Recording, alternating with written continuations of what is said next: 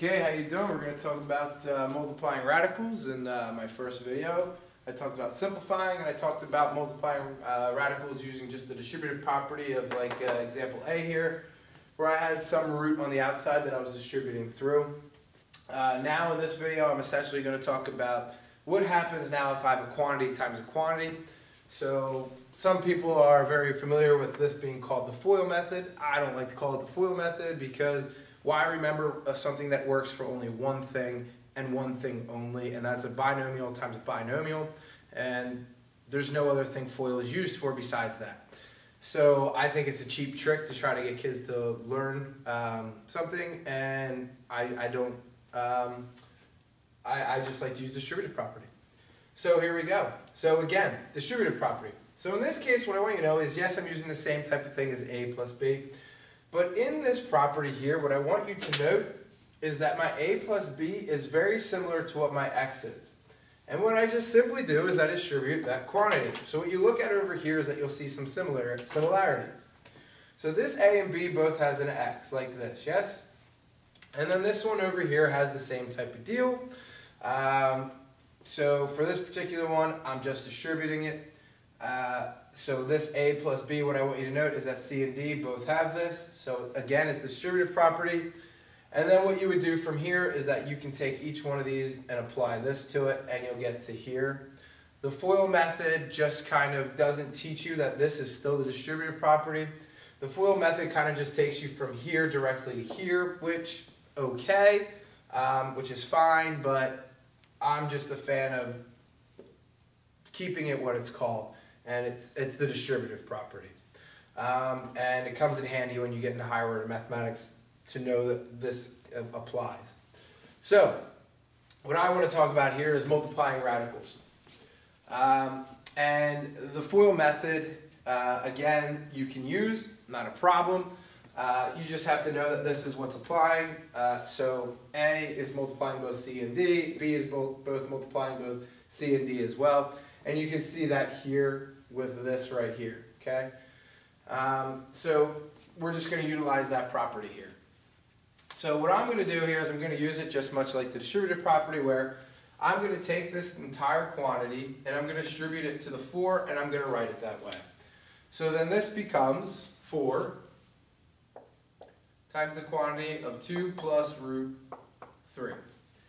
Okay, and I like to do this again because I just think it makes things less complicated in looking at it. And you'll understand as I make these progressively harder what I mean by that. So then I'm adding in between here.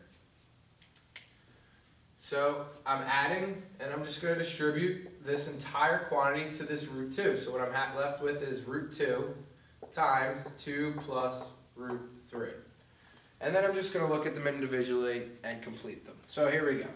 So 4 times 2 is easy, that's 8. Okay? And then I do 4 times root 3. And that's nice because that's just plus 4 root 3. And then I go on to the next one. So what is 2 root 2 times 2? Well, that's 2 root 2, so plus 2 root 2. And then the last thing I do, I'm going to use my multiplication property that I talked about in last video. And again, I'll write that up over here very quickly for you. But the multiplication property states Okay, so I'm just going to multiply prop here. States that if I have the square root of a times the square root of b, that is equivalent to root a times b. So that's what I'm going to apply here because I'm worried about doing the distributive property. So I'm actually trying to do a multiplication as opposed to break apart a factor. So this just becomes plus 2 times 3 is root 6. Now I come back and look at all of these and I go, okay, remember, Okay, then it must be left in simplest form, i.e. any factor that is a root of the index must be removed from the radicand. So, 3. There is no square number that goes in, that divides into 3. 2. There is no square number that 2 can be divided by. And 6. There is no other square number that 6 can be divided by. So all of these roots are in their simplest form. Therefore, none of these roots can be combined because to combine a root through addition, you would have to have the root being the same, and therefore you could then add what their multipliers are. So we can think of those as coefficients, much like x, 2x plus 2x is 4x. So this is my final answer. Well, not pretty, but it applied the multiplication property. And again, I like to use the distributive property method where you take this quantity and you distribute it. It is a value, so I can distribute that whole quantity. And that's what I've done here. And again, I just think it made it much neater to, to look at, or much simpler to look at, not neater. So, on to another example. So the next example I have for you, like I said, I would make these uh, progressively a tad bit harder, which basically means I'm just going to add a couple more roots, or I'm going to add roots that you can then simplify at the end. So here we go. So I'm going to take 5 plus root 6, and I'm going to multiply that by 4 plus root 12. Okay? So again, I like to use the distributive method property where I like to go from here to this because I think it makes it look neater or cleaner to look at for radicals. So here we go. I take this entire quantity and I distribute it to the 4, so it's 4 times 5 plus root 6. Yes, it's an extra step, but it's much nicer and cleaner to look at so you don't make a mistake. Then I add, so I bring down this addition, which is adding, so this root 12, and I'm going to multiply that by 5 plus this root 6. And then I'm going to go ahead and work with it. So now I just apply the distributive property like up in A here. So 4 times 5 is 20. 4 times root 6 is plus 4 root 6. Plus, well, root 5, root 12 times 5 is 5 root 12. And then the last part here, remember like I talked about before, that if there is a similar, a similar factor that you share in common with these two, I like to, to think of that as writing it out.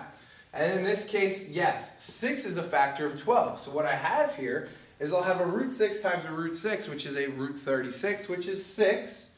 And what am I left with in here? So I'm going to think of this as really being 6 times 2. Okay, so you can see that I'm kind of like writing that small, small enough as work. So I have root 6 times root 6. Root 36 is 6, so I bring a plus 6 over here.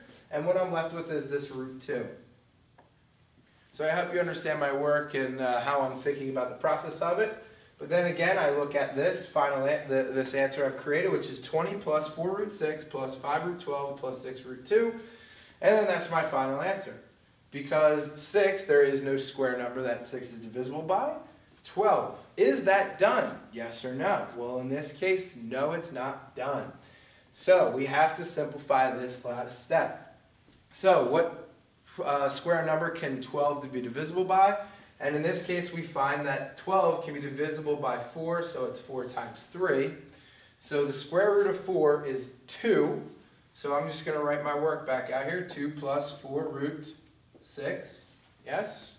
And then I'm left with out here that this is a 2, 2 times a 5 because this is root 4 times root 3. Correct? So root 12 is root 4 times root 3, which is 2. So 5 times 2 is 10. I'm left with a root 3.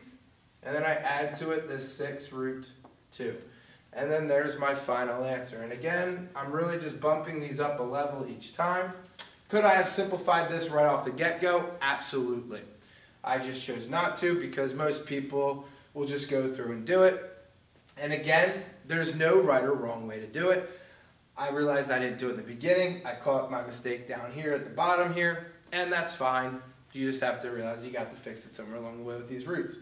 So the final answer to this one is 20 plus 4 root 6 plus 10 root 3 plus 6 root 2. And again, there's no more that I can do. Again, always check that is there any factor of this radicand, okay, that can be written as a square number. So yes, 4 was that one for this case.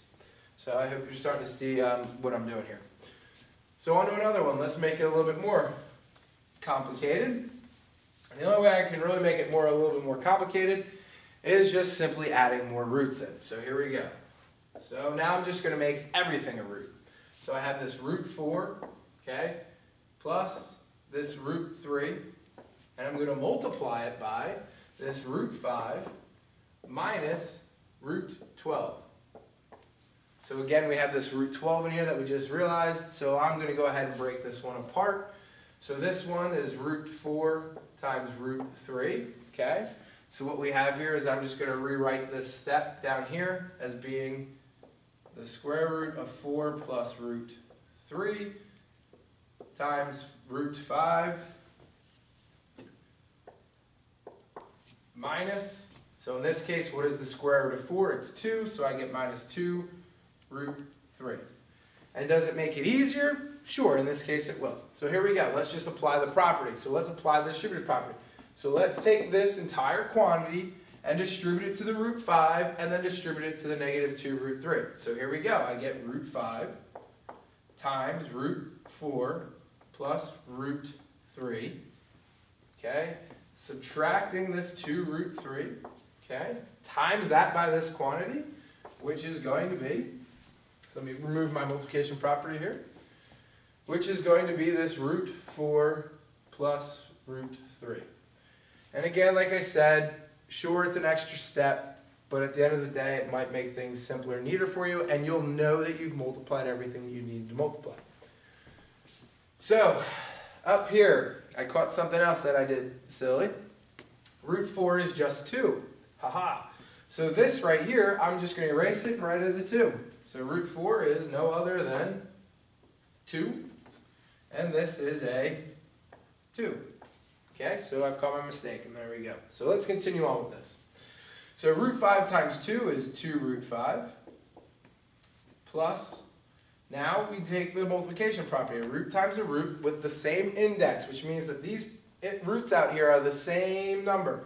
In this case, I'm dealing with square roots today, so we don't have to worry about it. So 5 times 3, there are no common factors in them, so I just multiply them and I get root 15. Then I go over here, I distribute this negative 2 in. Remember it's a negative 2. Common mistake a lot of people forget is the negative. So I multiply it in and I get negative 4 root 3. And then we come over to here, we distribute this back over, which is negative 2. Now root 3 times root 3, important to understand that, is root 9. Root 9 is just simply 3, so I'm just going to write this as negative 2 times 3. Okay? So here we go. 5 no square numbers. So this is 2 root 5 plus, again, root 15, nope, minus 4 root 3, and then this is just minus 6. And there you have it, I'm done. And you know, the, the more roots you add, the more steps or levels it kind of takes. Um, but again, it's just uh, step by step by step. I'm not trying to rush through it. I'm just doing everything step by step by step to make sure I'm doing it right. So I hope you see that this is my final answer and how I've come to it. And for my last final example of this one, I will do one more. So again, every time I'm just keeping basic principles in my head, which is that multiplication principle, and I'm just using the distributive property as I know it. So the last one I have here for you today is 3 root 2 uh, plus 4 root 5 and I'm going to multiply this by root 6 um, minus 2 root 10. So here's my two uh, binomial, well not binomials in this case, but here's my two values that I'm multiplying together. So again, I like to utilize uh, the distributive property where I take this entire quantity and I show it as a multiplication of this, root 6. So I, now I have root 6, okay, times the quantity of 3 root 2 plus 4 root 5. And then I have the negative 2 root 10, and I'm going to distribute this to that as well. So I write this up where I have 3 root 2 plus 4 root 5. And then I go ahead and do my multiplications. So, again, I like to look at my roots like I said. Let's look at the outsides first. 3 and 1 makes 3. But now let's look at my roots and say, okay, I'm doing 6 times 2. Well, 2 has a fact, uh, 6 has a factor of 2 in it, so I really have, again, that this is really like root 3 times root 2. Well, root 2 times root 2, anytime you take something and multiply it by itself, it's going to give you that 2, so this is really 3 times 2, and then root 3. Okay? So moving on to the next one. So I can simplify this 3 times 2. You'll be able to start to do these a little bit quicker. But this becomes 6 root 3. Okay? So going on to the next one. Outside times this one is positive 4. So now root 6 and root 5. This is root 3 and root 2. Those are its factors. Doesn't share any common. So in this case, I'm now just going to do the 6 times the 5, which is root 30. Okay? So on to the next one, now I come to here. So I don't just write minus, I get my sign after I do my distributive property. But what I notice here again is I'm going to take a look at the beginning here, the outsides, multiply them together, which is negative 6. Okay? So negative 2 times 3 is negative 6. Now look at my roots. Does 10 have a common factor, okay, of 2? Well, sure it does, and that common factor is 2. So this is really root 2 times root 5. So again, I can multiply by 2, so this is really negative 6 times 2. Okay, so I'll show that. And then I'm left with that root 5. Negative 6 times 2 is negative 12. So this can be written as minus 12 root 5. And then I go on to the next one. Well, in this case, my work that I already have is going to be nice for me because I have a root 5 and a root 5. But again, I'm always going to do this negative times this, which is negative 8. And I'm going to notice here that I have root 5 root 5, so this is just times 5. And I'm left with root 2. So what I have here is negative 8 times 5, which is negative 40.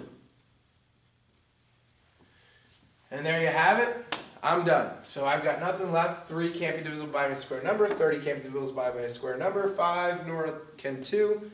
And none of these are the same, so I can't combine them.